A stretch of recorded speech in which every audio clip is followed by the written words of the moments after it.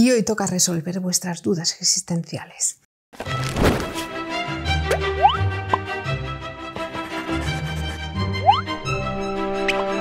¿Qué tal? Hoy vengo a resolver vuestras dudas existenciales. De hecho, voy a venir hoy y dentro de unos días porque hay bastantes preguntas y las voy a dividir en dos ya de entrada, porque si no, mm, este vídeo va a durar 50 minutos y no puede ser porque ya llevo varios vídeos de 50 minutos a mis espaldas. Al menos antes de la edición, después no lo sé en cuánto los podré dejar. Bueno, eh, recopilé las preguntas en dos sitios, en Instagram y en la comunidad de YouTube. Entonces, eh, voy a hacer parte de las preguntas de Instagram hoy y parte de las preguntas de Instagram y las de YouTube en el otro vídeo, porque creo que en la comunidad de YouTube hay menos, creo, no lo, no lo he comprobado. Pero mm, vamos allá. Y Laura Mostaza pregunta, ¿cuáles son los mejores bolis de gel para ti? Bueno, para mí los mejores bolis de gel son los Zebra. No los tengo aquí, los Sarasa Grand, de hecho, no los tengo aquí. Os voy a dejar una foto de cómo son, los sabéis de sobra, los he enseñado en Instagram, los he enseñado también por aquí. Y la tinta es la misma que la de todos los Zebra. Ahora mismo tengo aquí este, que es eh, uno de los Relaxing Colors, porque también me he dejado el estuche, porque que soy así. Me parecen los mejores, de hecho, eh, me gustan mucho los Sarasa en general, que son estos bolis. El diseño es este. Sé que los tengo aquí, pero no sé dónde. Los tengo guardados, tengo la colección entera, todos los colores que sacaron. Luego tengo estos, que parte de ellos están en casa, este es que no me gusta. Entonces por eso este se quedó en el estudio. Me parecen fantásticos, pero los Grand tienen un plus añadido y es que son metálicos, son mucho más bonitos, son mucho más cómodos, pero estos pues son bolis de tirar en el estuche y de batalla. El negro en 0.5 está muy bien para quien le guste escribir en boli de gel negro y además no son caros. Os dejaré abajo algún enlace si me acuerdo. Si no me acuerdo, recordádmelo en los comentarios. Verde Hierbabuena me ha dicho, ¿la Twisby Coral es auténtica? Sí, es auténtica. Ya hice el vídeo sobre la Twisby Coral. Eh, os lo dejo abajo si me acuerdo. Si no, mm, no debe estar muy lejos de este vídeo. 15 eh, días en casa por obligación dice, ¿Cómo sigues cuando no tienes fuerza? Eres un ejemplo para los que no pasamos por un buen momento. Gracias. Bueno, no sé cómo sigo, la verdad. Eh, creo que no queda otra que seguir y esperar a que todo se solucione. Lo que queda por solucionar no depende de mí. Entonces, mm, lo único que puedo hacer es dejar pasar el tiempo. Todo lo que yo podía hacer ya lo he hecho, que fue denunciar, que fue poner medidas, poner límites. Ya está, es que no puedo hacer otra cosa.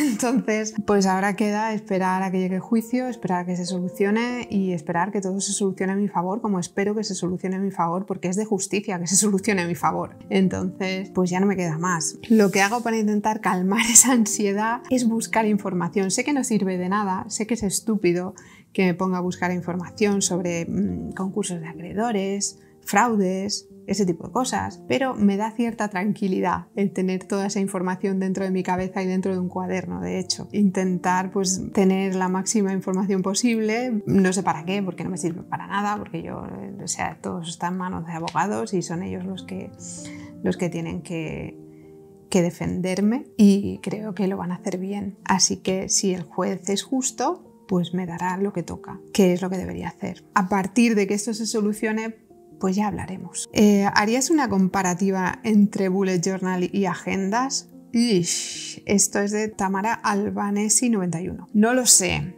¿Por qué? Pues porque yo el bullet journal nunca lo he llevado de la forma en la que se suele hacer en internet, en redes sociales, en Instagram, en YouTube. Nunca, o sea, yo siempre lo he llevado muy a mi estilo y siempre me ha costado mucho llevarlo adelante. Sí que lo utilicé durante mucho tiempo porque con el trabajo que tenía era... Eh, no tenía vida y al no tener vida tampoco podía utilizar la agenda, se me quedaban páginas y páginas en blanco y al final pues era un desperdicio de dinero, así que eh, decidí pasarme en ese momento al bullet journal porque lo podía utilizar, mm, lo podía utilizar sobre la marcha, pero a la vez echaba de menos, me faltaba, es como el, eh, no sé cómo le llaman, la verdad, como el tenerlo todo planificado para el futuro, echaba de menos toda esa parte. Entonces lo que hacía era hacerme todos los meses a la vez y al final era un rollo. Así que no sé si haría comparativa entre Bullet Journal y Agenda. Quizá podría hacer algún vídeo sobre qué prefiero Bullet Journal o Agenda, pero no comparativa. Arena en los bolsillos me dice, ¿qué piensas hacer después de que se solucione todo esto? Buena pregunta. Lo cierto es que llevo tantos años metida en esta dinámica de mierda, en esta inestabilidad total, porque, bueno, han sido los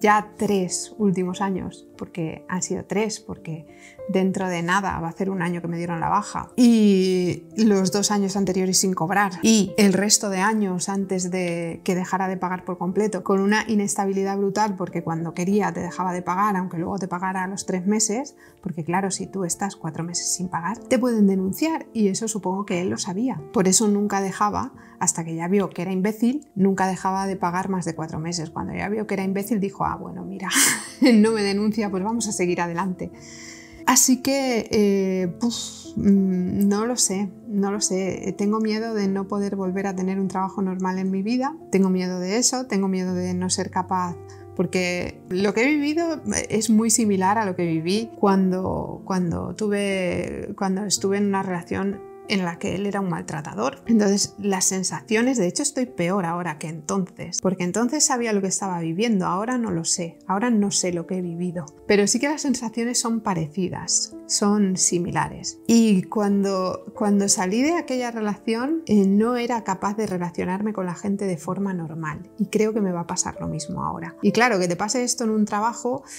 Eh, eh, hace que tengas miedo sobre tu futuro laboral. Una de mis ideas es hacerme autónoma y no, tener que depender de ningún jefe nunca más en mi vida. Pero, ¿qué voy a hacer siendo autónoma? No lo tengo claro. Sí lo tengo claro, pero no lo quiero contar hasta que no vea que es un poco más real. Así que, bueno, pues ahí está. No quiero volver a depender de tener un jefe, no quiero volver a depender de estar en una empresa, porque ahora mismo yo tengo la idea de que todos los empresarios son unos cabrones. Lo siento si alguno de vosotros sois empresario, pero eh, es la idea que me ha quedado, culpadle a él, no me culpéis a mí, pero es la idea que tengo, que todos los empresarios son unos cabrones que explotan a los trabajadores y que nos sangran y que nos quitan la vida. Así que es difícil que con esta idea que tengo yo ahora en la cabeza pueda ser capaz de tener un nuevo jefe.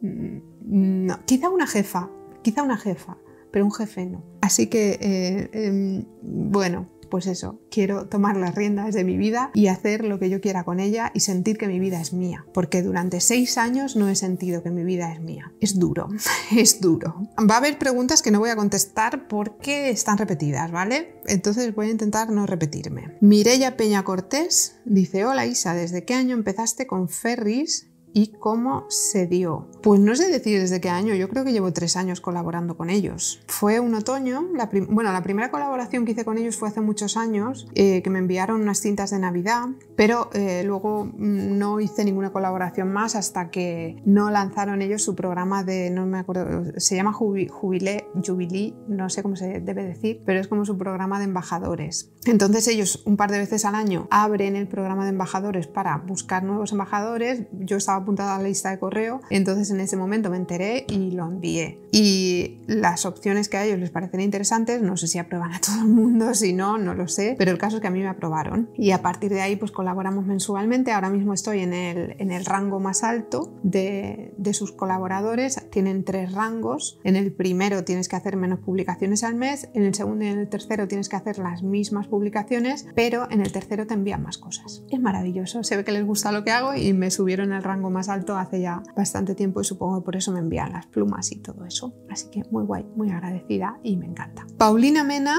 me pregunta, ¿cuál fue tu primer hobby, tu primera obsesión? Mm, interesante. Yo creo que hobby reconocido como tal fueron las muñecas. Yo creo que sí. Entonces yo tenía 22 años, 23, 22, no me acuerdo, 22 creo que tenía cuando las descubrí. Y además tenía como el poder, bueno, tampoco que tuviera un gran poder adquisitivo, pero tenía trabajo, tenía un trabajo media jornada y no tenía obligaciones de ningún tipo con esa edad. Entonces todo el dinero que ganaba, que tampoco era mucho porque era un trabajo media jornada, pero me lo podía gastar en lo que me diera la gana y entonces me lo gastaba en muñecas de mil euros. Y, y ese fue como una obsesión muy grande. Eh, así que creo que quizá fue ese. Es verdad que en tema papelería me ha gustado siempre solo que antes pues era otro nivel y era con las cosas que tenía disponibles, no había internet, pero sí, para mí el, hobby que me obsesionó de manera seria fue el de las muñecas, el primero. Aunque lo de coleccionar colores y esas cosas también lo he hecho siempre. Y creo que quizá vinculado con todo esto, Stephanie Heavy dice, ¿no es todo muy consumista? Sí, tampoco sé a qué se refiere, pero sí, a ver, el mundo de las redes sociales es muy consumista y ahora me está, a mí me está costando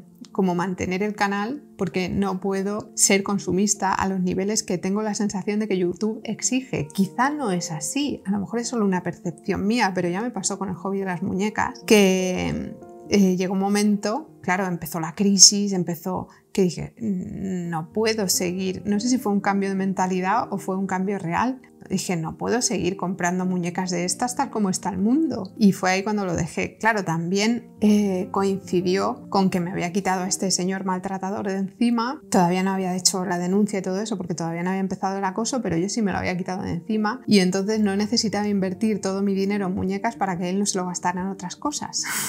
pues ahí también influyó, ¿no? Porque las muñecas en aquel momento fueron, eran como, como el reafirmar mi propia identidad, el no renunciar a eso que fue lo único que, que, no me quitó o lo que yo tenía la sensación de que no me había quitado. Y lo intentó, pero no lo consiguió, porque cada vez que me compraba una muñeca era mm, bronca y bronca y bronca, ¿por qué te has comprado una muñeca cuando me podías haber comprado un ordenador? Pues porque es mi dinero y no el tuyo, ¿sabes? Es consumista, sí, es consumista. Mm, creo que es algo que nunca nos vamos a poder quitar de encima con el tema del consumismo. Entonces, mm, creo que, no, no, puede ser algo evitable, que al final todo este mundo de redes sociales quizá lo ha agravado un poco más, porque entonces cuando, cuando yo compraba muñecas y cuando dejé de comprarlas sí que tenía esa sensación de que me quedaba atrás, pero el mundo de redes sociales, Instagram, influencers no existía. De hecho, ni siquiera estaba YouTube empezando cuando yo dejé de comprar muñecas.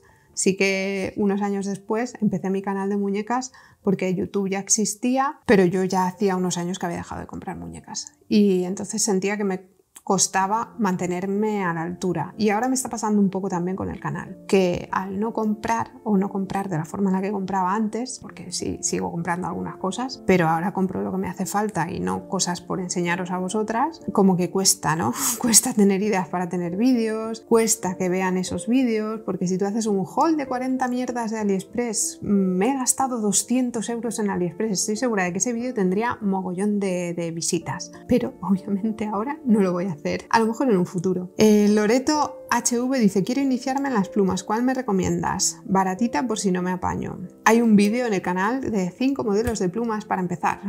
Hay un vídeo sobre eso, pero si tuviera que recomendar así a lo loco, Hondian. O, mucho mejor, esto.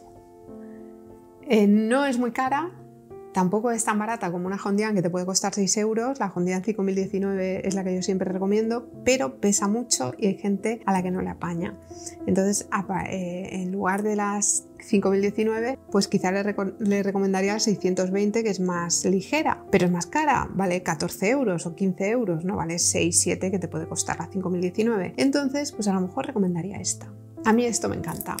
o sea, eh, creo que tengo que hacer otro vídeo de qué plumas recomiendo para empezar, porque entonces yo no tenía esta y ahora las tengo. Y estas me encantan, pero son un poquito más caras. Cuestan sobre los 20 euros, en oferta eh, se pueden conseguir por menos. Yo no he conseguido ninguna de mis Moonman A1 o A2 por más de 17 euros, porque siempre me he esperado a coger alguna oferta. Pero esta en concreto esta es la A1 nueva, me parece una maravilla.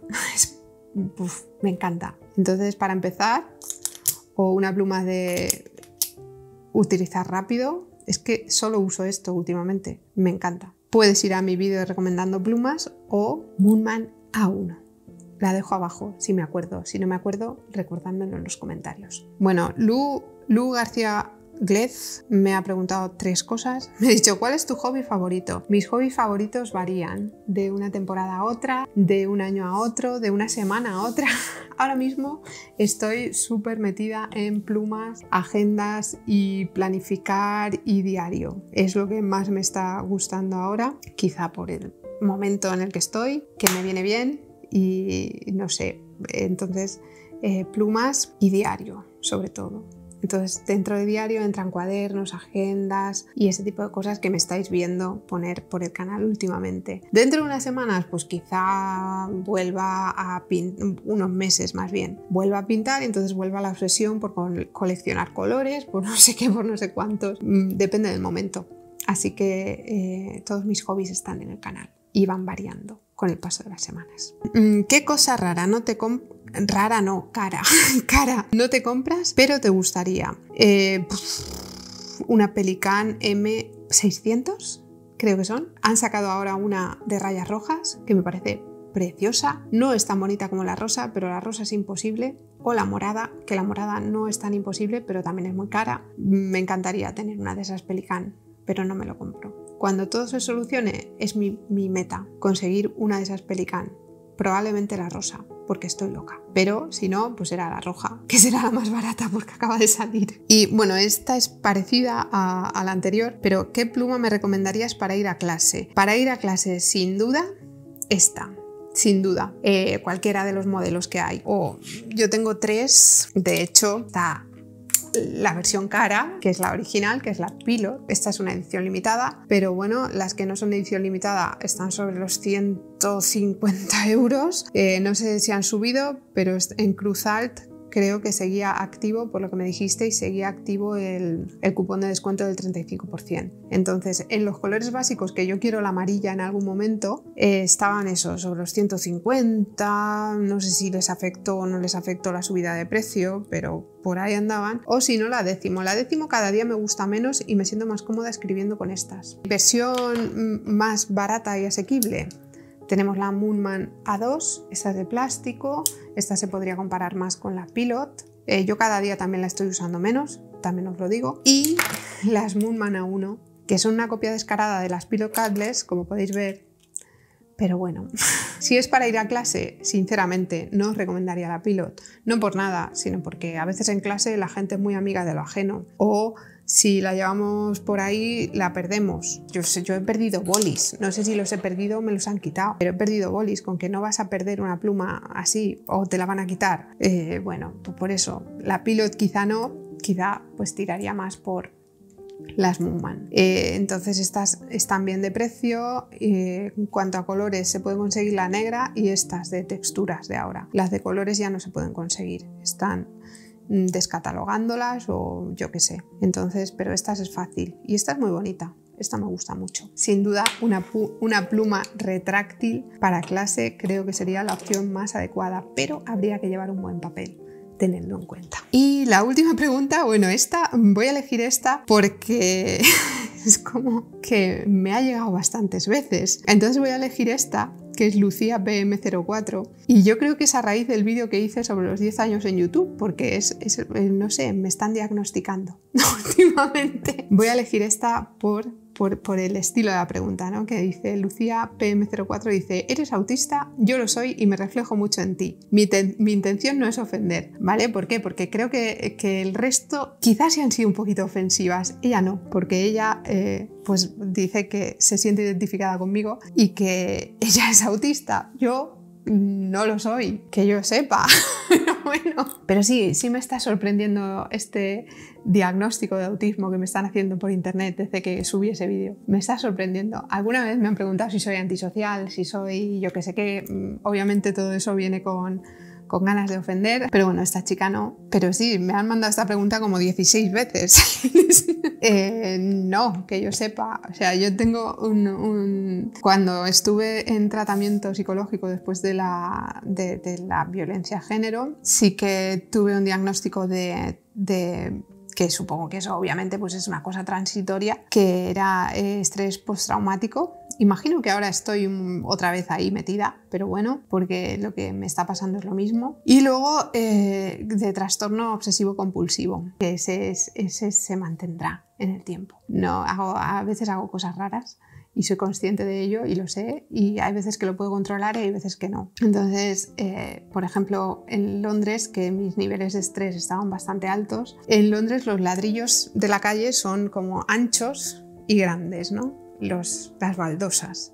Entonces yo no podía pisar las rayas. Y es algo que me pasa, es algo que me pasa siempre. Es algo que cuando vi aquella película de Mejor Imposible dije, se están riendo de mí. Bueno, de mí y de todas las personas que nos pasa eso, ¿no? De no poder pisar esas rayas. Y en Londres era como muy obsesivo. Aquí lo tengo más o menos bajo control porque no quiero que la gente piense que soy imbécil cuando voy andando por la calle, pero sí que hay ciertas zonas en las que mm, tengo que concentrarme mucho para no andar mirando al suelo porque sé cómo son esos ladrillos. Entonces ese diagnóstico sí lo tengo y creo que con la pandemia se agravó un poco por el tema de tener que estar lavándote las manos continuamente. Ahora ya lo tengo más bajo control, pero sí me pasaba el que se me pelaban las manos de estar continuamente lavándome las manos, continuamente con el alcohol. De hecho creo que me las he destrozado un poco en este tiempo. Pero bueno, el tema del autismo, no sé, es como una novedad que acaba de saltar ahora y que la gente le da por diagnosticarte cuando te ven internet y es como que me están diagnosticando. Pero ¿qué le vamos a hacer? Sé que antisocial no soy, porque si buscáis lo que es ser antisocial, pues veréis que se confunden, ¿no? Que confunden el que no me guste el hacer ciertas cosas aceptadas socialmente con ser un antisocial. No, no, tiene nada que ver una cosa con la otra. Pero bueno, que a la gente le gusta mucho diagnosticar y que a la gente le gusta mucho etiquetar cuando ve que eres un poco diferente. Eso sí, ahora lo del tema del autismo me está preocupando. Yo qué sé, tampoco creo que sea nada malo, ¿no? Porque yo he sido así toda mi vida. Entonces, pues si ahora me quieren etiquetar, que me etiqueten. Tampoco voy a voy a buscar que me etiqueten porque no siento eh, la necesidad de poner una etiqueta a cómo soy o a cómo he sido siempre. Y tampoco veo que me fuera a ayudar en ninguna de ninguna forma.